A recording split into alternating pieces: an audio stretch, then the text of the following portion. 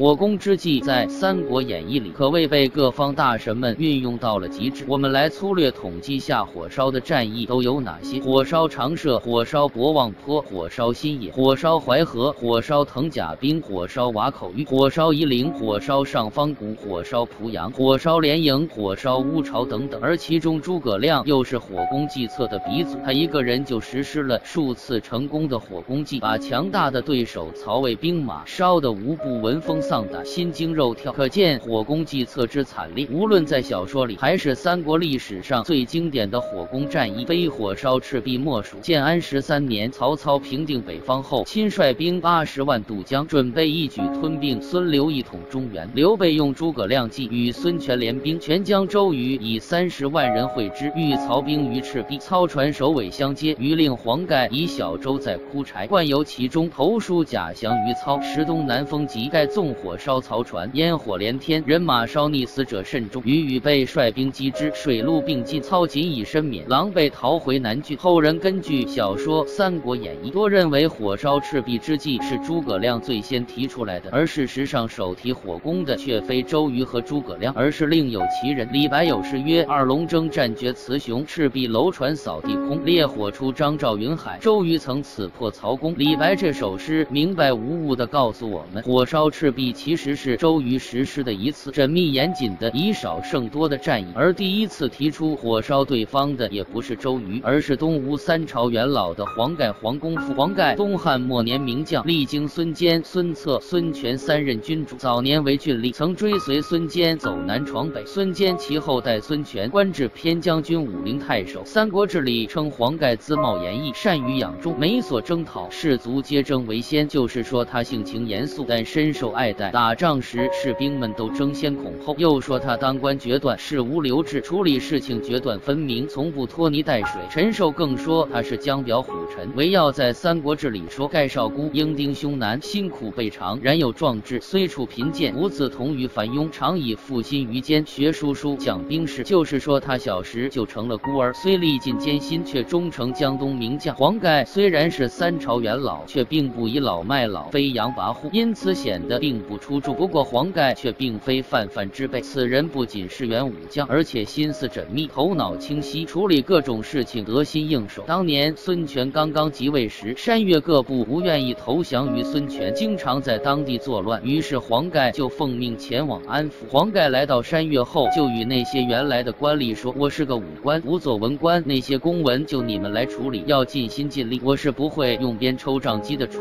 罚的。”这几个官吏欺黄盖是个武将，不看文书，于是就恣意妄为，欺上瞒下。黄盖知道后非常不满，等到掌握了他们几个不守法的证据，黄盖便对他们说：“我之前就跟你们说过，不会用鞭杖来处罚你们。”说完就直接将几个官吏杀掉了。剩余在场的人都十分震惊。黄盖这手敲山震虎和杀鸡害猴玩得相当漂亮，从此山岳各部变得安稳服帖。从这里都可以看出，黄盖是个有勇有谋、做事还有点狠辣果敢的武将。建安十三年，曹操八十万大兵压境，磨刀霍霍，随时准备吞并孙刘政权。而孙刘虽然联手，却也不过几万人马，敌众我寡，形势堪危。作为江东大都督的周瑜更是如坐针毡，彻夜难眠，苦思破敌良策。黄盖随周瑜、鲁肃在赤壁迎战曹操，见状便向周瑜献计：今寇众我寡，难以持久。然刚操军方连船舰，首尾相接，可烧而走也。周瑜眼前一亮，豁然开朗道：“公之妙计，与我不谋而合也。”遂采纳了他的计谋。为了实施火攻计策，就必然要取得曹操信任，否则无法接近对方，大火也就无从烧为此，黄盖又和周瑜制定了完美的一出苦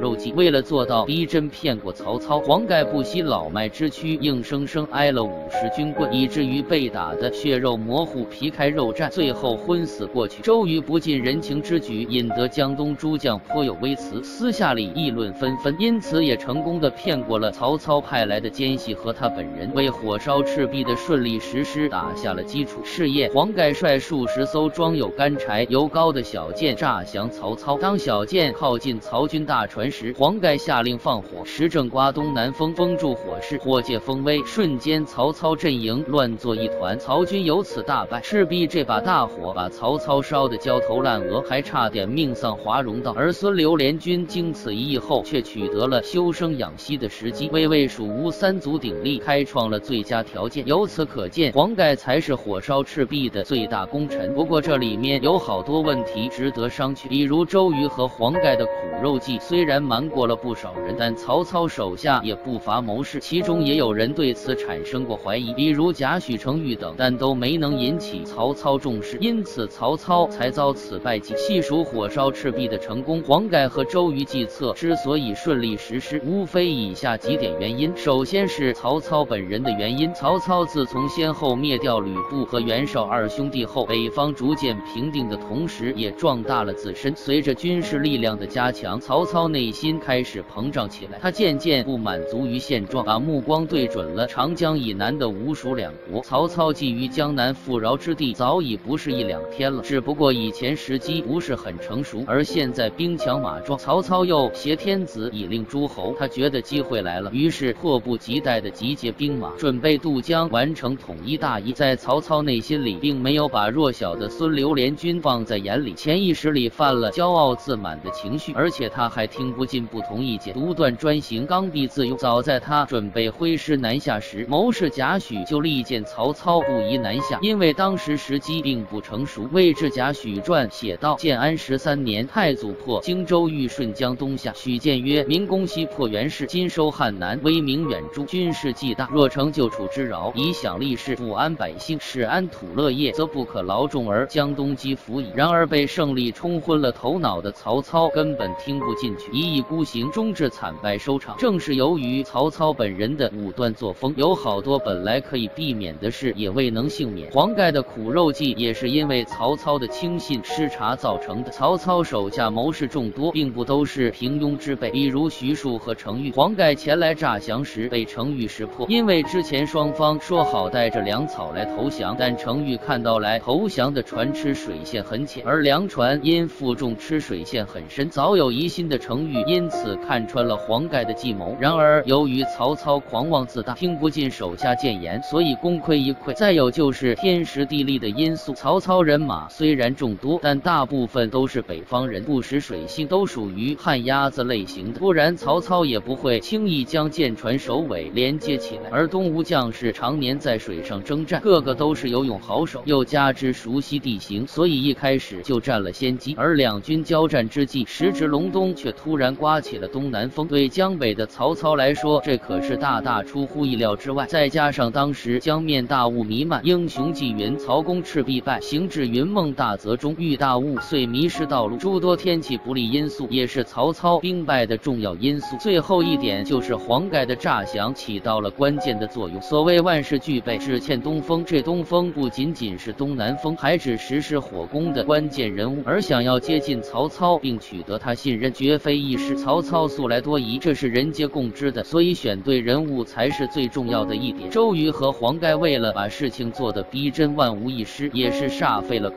心。而黄盖冒着生命危险，以老迈躯体，硬生生挨了五十军棍，差点因此送了性命。这样真实的苦肉计，连江东诸将都蒙在了鼓里，所以曹操才能信以为真。一个江东三朝元老，无故却被一个后生打了个半死，搁谁也不会咽下这口气。所以黄盖的诈降才会成功，这才能带着新草膏油接近曹操，为火烧赤壁的成功开启了最重要的一环。假如不是黄盖舍命来演这出苦肉计，纵然周瑜有天大的本事，再高明的计谋，也不过是水中花、镜中月罢了，接近不了曹操，一切都是空谈。所以说，黄盖才是火烧赤壁的最大功臣，当之无愧。无怪乎陈寿称其为江表之虎臣，孙氏之所后代。黄盖得此圣誉，也是实至名归。